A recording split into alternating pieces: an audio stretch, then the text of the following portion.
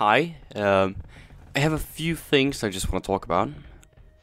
Uh, phase 1, um, 12 videos where I try different topics uh, and I do some exciting things, um, etc.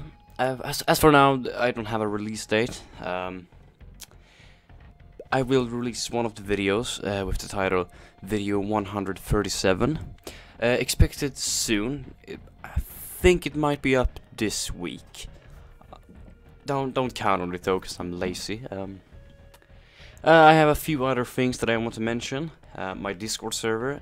I would love if people join. Um, it's pretty much dead at this point. Like, we sometimes post a meme, and then we go die.